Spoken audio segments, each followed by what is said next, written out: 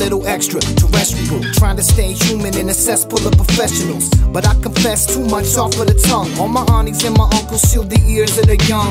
I be saying shit and they don't know where it's coming from. In like a hundred years, we went saw a bomb from guns. Check the facts, check the Fed, check the stars. Stanley Meyers was murked for a water fuel cell car. They each their own, you can stick with your own ways. But eat the rich and drink the motherfucking Kool-Aid. And I can see the red on your lip stain. White skin, blue collar, pure American made. Fuck it. Blood soaked heritage and run the soul off the moon landed narrative.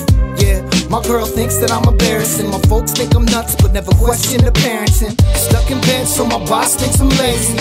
Connecting dots, but it's all kinda hazy. I'm on the internet, feeling like I'm Dick Tracy. My pap thinks I'm un-American and shady. Yeah. I'm feeling unhinged lately. Encounters of the fifth kind on the daily. You could tell me that the president's an alien, it wouldn't faze me. My family thinks I'm crazy.